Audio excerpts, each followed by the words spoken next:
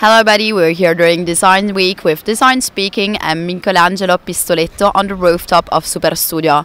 How are you doing, Michelangelo? Tutto bene? Very well, yes.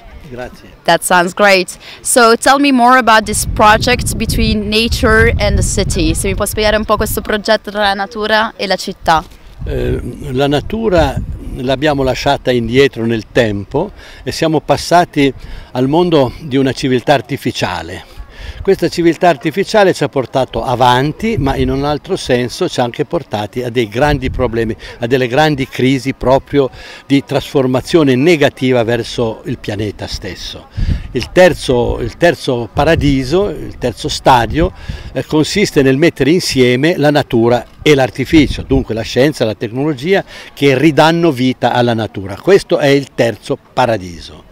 So, what Michelangelo is saying that we totally forget about the nature. We are not taking care anymore of it. So, yes, we have been going around, going up.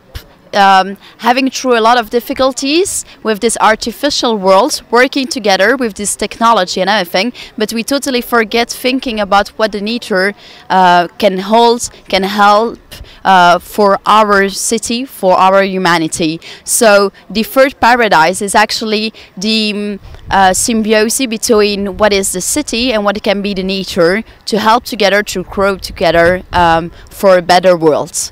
So tell me, Michelangelo, how did you start? Uh, which ideas did you came up with um, to do something different for this third paradise? Quali sono state le idee per trasformare questo mondo in un terzo paradiso? Il mio committente è l'umanità in crisi e quindi eh, penso che l'arte si debba occupare di utilizzare la sua libertà per trasformarla in responsabilità.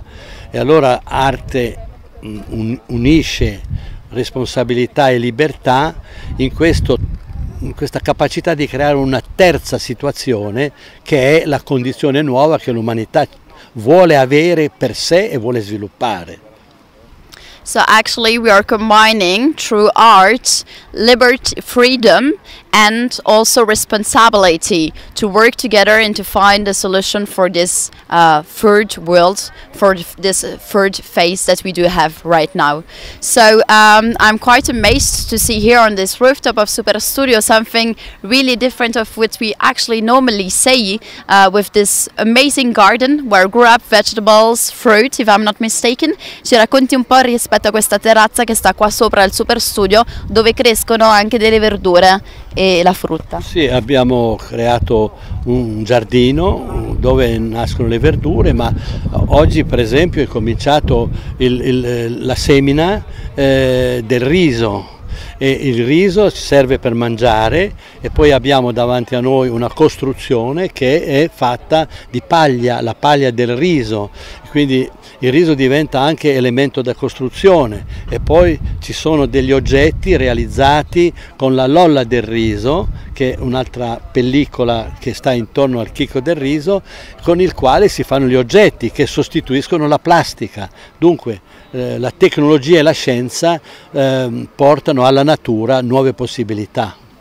So actually what is interesting, I thought it was just only about maybe a garden, vegetables, fruit, but it's not only about that. For example, they started today putting also um, uh, a place so that rice could grow up.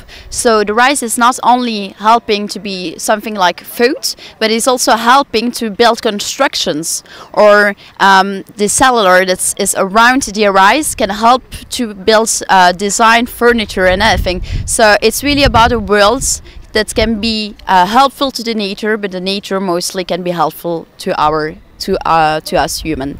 Thank you very much, Michelangelo. Grazie mille. Grazie.